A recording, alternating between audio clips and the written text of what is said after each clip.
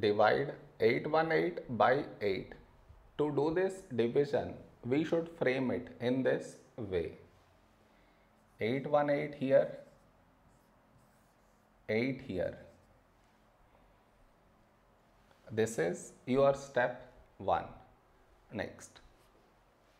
Here we have 8 and here 8. When do we get 8 in 8 table? 8 ones 8.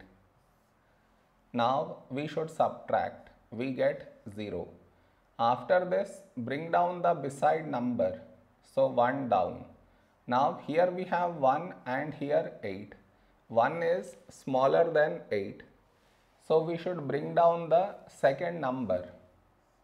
And the rule to bring down second number is put 0 here. Then only we can bring this number down. So 18. A number close to 18 in 8 table is 8 to 16. Now we subtract. We get 2. No more numbers to bring it down. So we stop here. This is our remainder and this is our quotient.